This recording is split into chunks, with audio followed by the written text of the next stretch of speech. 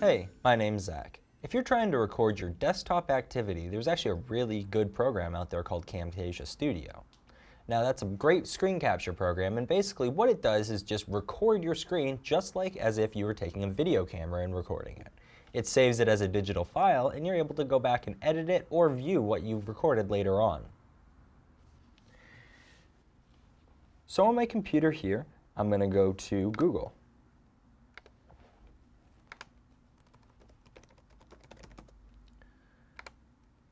In order to get Camtasia, we're just going to type Camtasia. And you can get a free trial just by going to their website. And the free trial is located here.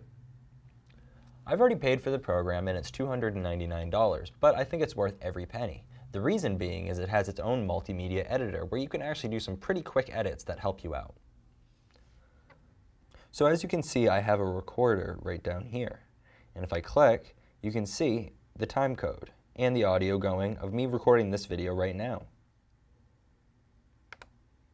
The best part about Camtasia Studio is that multimedia editor. So I'll double click here and Camtasia Studio opens right up. All you would have to do is hit this button that says record the screen.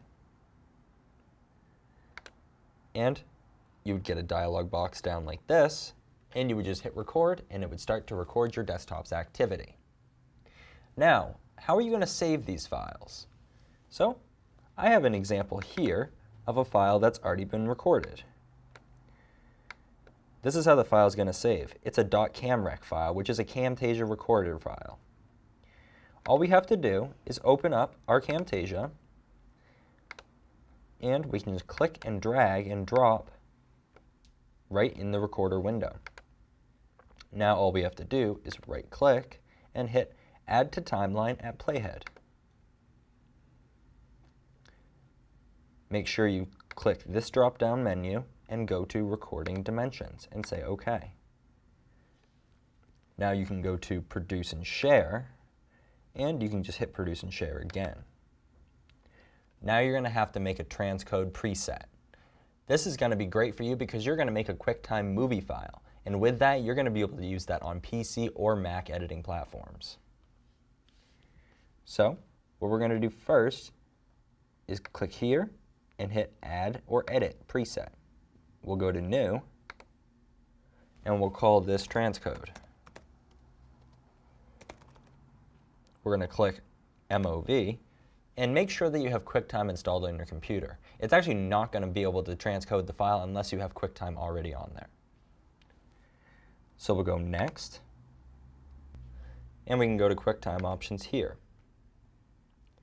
We can change the size, and I suggest clicking this button here and going down to HD 1920 by 1080 and hit OK. Hit OK again and hit Next. Stick with custom size here and hit Next again and then hit Finish. And now transcode is saved and we'll hit Close and we can select it from this drop-down menu now.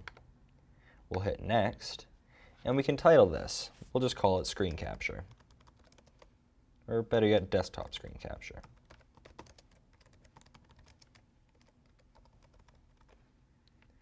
We'll hit Finish. And also you can select your folder here. Hit Finish and that video is going to be exported into a .mov file. My name's Zach and I hope this helps. Good luck recording your desktop.